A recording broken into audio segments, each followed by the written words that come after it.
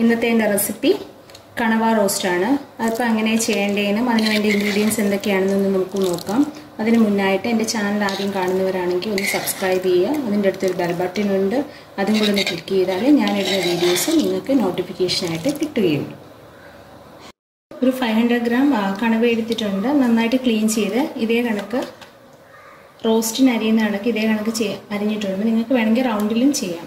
അതിന്റെ കൂടെ ഒരു മൂന്ന് വലിയ സവാള എടുത്തിട്ടുണ്ട്. രണ്ട് തക്കാളി എടുത്തിട്ടുണ്ട്. ഒരു നാല് പച്ചമുളക്. എരിവനുസരിച്ച് എടുക്കുക. പിന്നെ ഒരു മൂന്ന് ടേബിൾ സ്പൂൺ തേങ്ങാക്കൊത്ത് എടുത്തിട്ടുണ്ട്. ഈ വലുപ്പത്തിൽ ഒരു ഇഞ്ചി എടുത്തിട്ടുണ്ട്. ഒരു ഇരുപത് വെളുത്തുള്ളി എടുത്തിട്ടുണ്ട്. കറിവേപ്പില പിന്നെ മസാല. ഈ ഒരു ടേബിൾ സ്പൂണിന് ഒന്നര ടേബിൾ സ്പൂൺ കാശ്മീരി ചില്ലിയാണ് ഈ എടുത്തിരിക്കുന്നത്. അര ടേബിൾ സ്പൂൺ മല്ലിപ്പൊടിയും കാൽ ടീസ്പൂൺ മഞ്ഞൾപ്പൊടിയും കൂടെ ഒന്ന് ജസ്റ്റ് ഒന്ന് ചൂടാക്കി വെച്ചിരിക്കുന്നതാണ്. അപ്പോൾ ഇതിൽ റോസ്റ്റും ചേർക്കുമ്പോൾ ഒന്ന് ചൂടാക്കി വേണം ചേർക്കാൻ.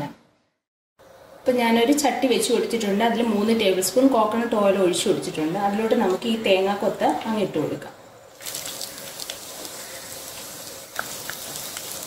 എന്നിട്ട് ഇതിനെ ഒന്ന് ചെറുതായിട്ടൊന്ന് വറുത്തെടുക്കാം. ഇപ്പോൾ തേങ്ങയൊന്ന് ചെറുതായിട്ടൊന്ന് ബ്രൗൺ ആയിട്ട് വന്നിട്ടുണ്ട്. അതിലോട്ട് നമുക്ക് ഈ എടുത്ത് വെച്ചിരിക്കുന്ന മൂന്ന് സവാള ചേർത്ത് കൊടുക്കാം.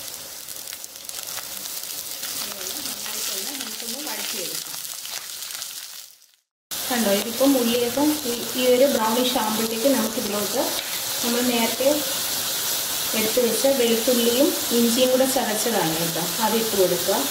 കറിവേപ്പില ചേർത്ത് കൊടുക്കുക.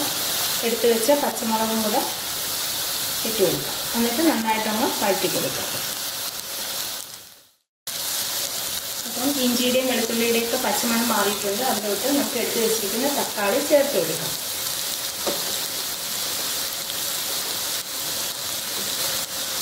എന്നിട്ട് നന്നായിട്ടൊന്ന് ഇളക്കി കൊടുക്കാം. ഇതിലോട്ട് നമുക്ക് കണവ ചേർത്ത് കൊടുക്കാം.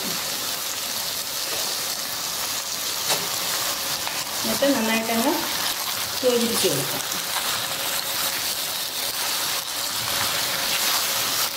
അതിന്റെ കൂട്ടത്തിലോട്ട് നമുക്ക് ഈ മസാലയും കൂടെ ചേർത്ത് കൊടുക്കാം.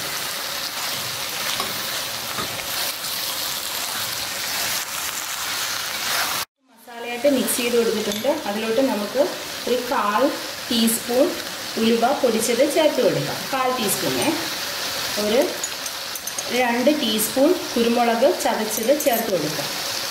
എന്നിട്ട് കുറച്ച് ഉപ്പും കൂടെ ചേർത്ത് കൊടുക്കാം. എന്നിട്ട് ഇത് നന്നായിട്ടങ്ങ് മിക്സ് ചെയ്ത് കൊടുക്കാം. ഇതിൽ വെള്ളമൊന്നും ചേർക്കണ്ട. കാരണം ഇത് നമ്മൾ റോസ്റ്റ് ചെയ്യുന്നതാണ്. അപ്പോൾ വെള്ളമൊന്നും ചേർക്കണ്ട. ഇത് നന്നായിട്ടങ്ങ് മിക്സ് ചെയ്ത് കൊടുക്കുക. എന്നിട്ട് ഇതങ്ങ് അടച്ച് വെച്ചിട്ട് ഒരു ലോ ടു മീഡിയം ഫ്ലെയിമിലിട്ട് നമുക്കൊന്ന് വേവിച്ചെടുക്കാം. നമുക്ക് ഇതൊന്ന് പത്ത് മിനിറ്റ് കഴിഞ്ഞിട്ട് ഇപ്പോൾ തുറന്ന് നോക്കുന്നതാണ്. നമ്മൾ കണവയിൽ വെള്ളമൊന്നും ചേർത്തിട്ടില്ല. അതുകൊണ്ടോ? അപ്പോൾ ആവശ്യത്തിലേറെ വെള്ളമുണ്ട് ഇതൊരു ലോ ടു മീഡിയത്തിലിട്ടാണ് ചെയ്യുന്നത്. ഒന്ന് നന്നായിട്ടൊന്ന് ഇറക്കി കൊടുക്കാം. ചട്ടി ആയതുകൊണ്ട് അടി പിടിക്കാൻ സാധ്യതയുണ്ട്. അതുകൊണ്ട് നന്നായിട്ട് ഇടവിട്ട് ഇടവിട്ടൊന്ന് ഇളക്കി കൊടുക്കണം. എന്നിട്ട് നമുക്കിതങ്ങ് മൂടി വെച്ചിട്ട് നമുക്കിതിനെ അങ്ങ് റോസ്റ്റ് ചെയ്തെടുക്കാം. ഇപ്പോൾ കണ്ട നേരത്തേക്കാളും വെള്ളമൊക്കെ പറ്റിയിട്ടുണ്ട് എന്താ ഒന്ന് ഇളക്കി കൊടുക്കുക അടിയിലൊന്നും പിടിച്ചിട്ടില്ല. ഇനി ഇത് നമുക്ക് തുറന്ന് വെച്ചിട്ടൊന്ന് നമുക്കങ്ങ് റോസ്റ്റ് ചെയ്തെടുക്കാം. റോസ്റ്റ് നന്നായിട്ട് കറക്റ്റ് ആയിട്ടുണ്ട് കണ്ടോ? കണവയൊക്കെ നന്നായിട്ട് വെന്ത് റോസ്റ്റ് ആയിട്ടുണ്ട്. കണ്ടോ? എണ്ണയൊക്കെ തെളിഞ്ഞ് നന്നായിട്ടുണ്ട് നല്ല മണമൊക്കെ വരുന്നുണ്ട്. അപ്പോൾ ഇത് നിങ്ങൾ വീട്ടിലൊന്ന് ട്രൈ ചെയ്ത് നോക്കുക. ചാനലൊന്ന് സപ്പോർട്ട് ചെയ്യുക. Thank you so much for watching എല്ലാ സ്പീച്ച്